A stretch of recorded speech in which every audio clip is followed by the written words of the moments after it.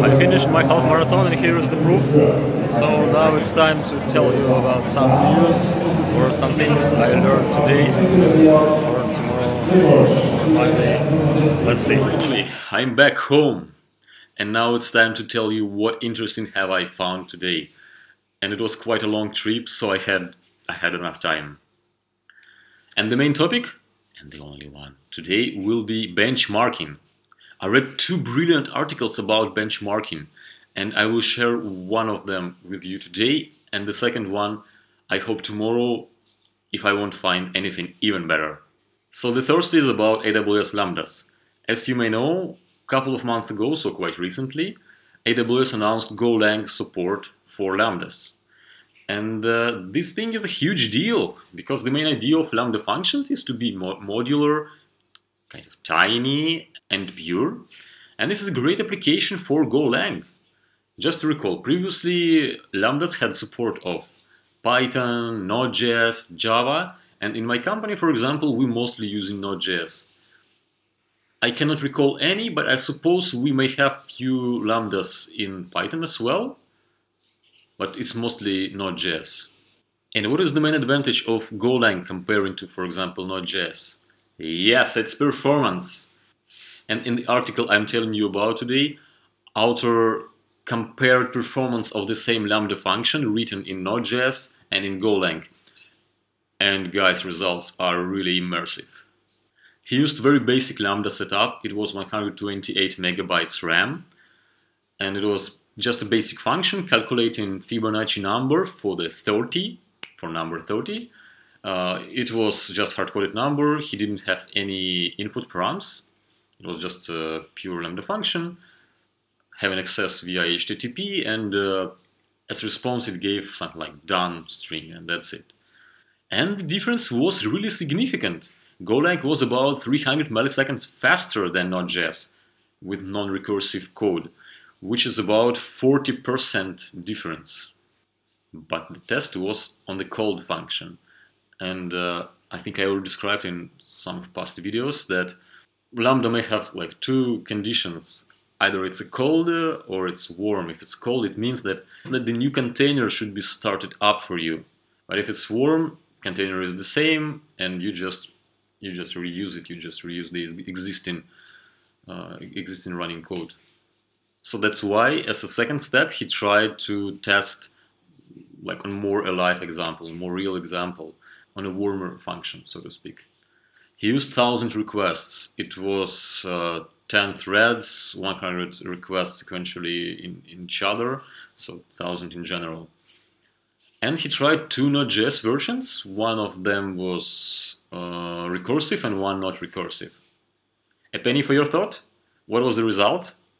And while you're thinking, I will show you a video of a huge ferry floating in the city where I just ran half marathon.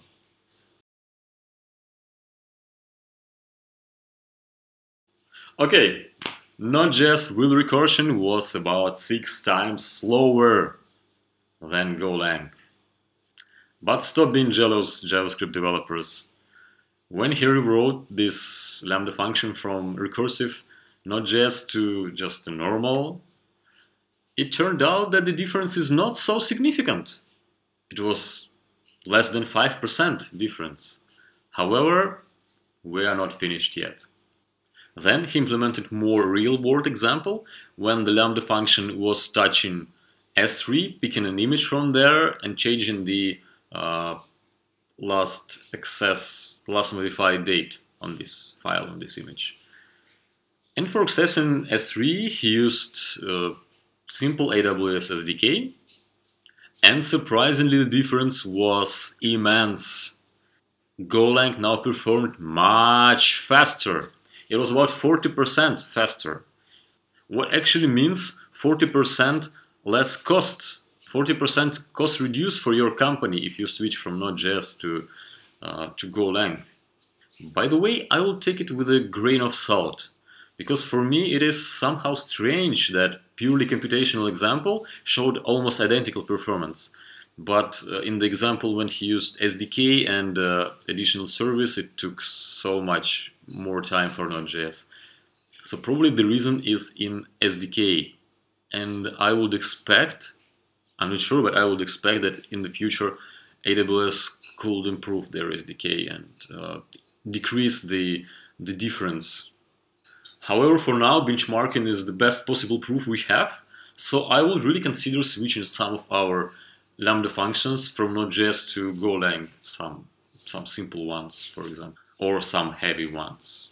One more interesting notice author gives, which I actually didn't know before, is that AWS Lambda doesn't actually compile your Golang code. So you should upload already compiled one. Uh, like for example, when you when you upload Node.js code, you upload it in zip file. So probably for Golang, it's also either a zip file with compiled code or just a binary file. Which means that potentially in the future they can add support of, for example, Rust or C++, which is great.